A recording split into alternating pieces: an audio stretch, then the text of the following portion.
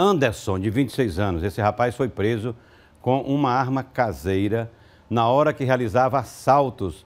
Ele e um amigo de, de, de bandidagem dele.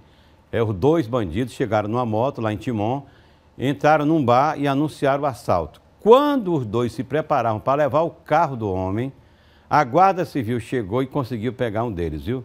Você vê que bandido é bicho falso. Estavam os dois juntos. Na hora que a, a polícia chegou, o outro disse: fica aí que eu vou sacar fora. Foi-se embora e deixou o cara lá preso, viu?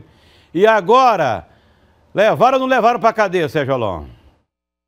A gente vai conversar agora com a Guarda Municipal de Timon, da Romu, o S. Aguiar, e vai contar pra gente como foi que tudo aconteceu.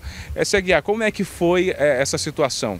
É, fazendo um ronda ali pela área da Vilosmar, é, nos deparamos com a atitude suspeita desse indivíduo na prática, na atual prática mesmo do assalto. Ele estava fazendo o assalto quando nós deslocamos, né? Saímos da viatura já dando voz de prisão para o mesmo. O mesmo tentou correr, mas ele viu que estava cercado pela guarnição e com a arma de fogo em mãos, né?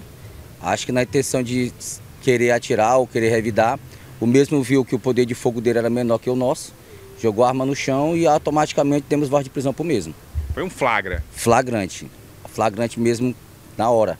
Ele, a intenção dele era levar o carro da vítima, já que já estava com os pertences do mesmo. Estava lá, né, nesse bar, quando ele chegou com o compasso, já foi feito o anúncio do assalto, o mesmo já pegaram a carteira, o celular e viram que o carro era do, do mesmo, né? Automaticamente o rapaz já foi para o carro para tentar levar o carro quando nós chegamos e abordamos. O comparsa conseguiu fugir, né? Estavam de moto, conseguiu fugir e a gente acabou focando no antes por conta dele estar com arma de fogo.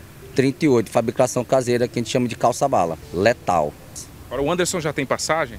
Parece que sim, responde o processo. De acordo com o que foi informado pelo aplicativo nosso sistema, ele tem uma, uma parte, parece que porte de arma. Muito obrigado aí a Guarda Civil Municipal de Timon, que tirou mais um elemento de circulação, além de uma arma que estaria ali sendo utilizada para o crime. E ainda segundo populares, segundo a, a família da vítima, a dupla já estava rondando pelo bairro já há um bom tempo. E aí eles aproveitaram para tentar cometer mais um assalto.